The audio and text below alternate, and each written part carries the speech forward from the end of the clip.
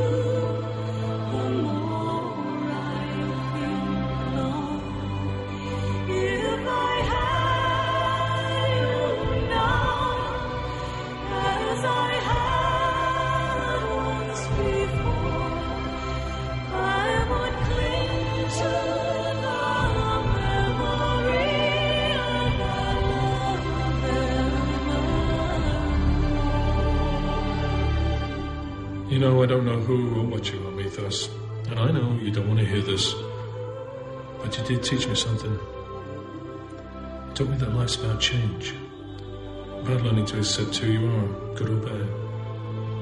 And I thank you for that. Can't imagine my life without you, Mac. Fact is, I don't want to.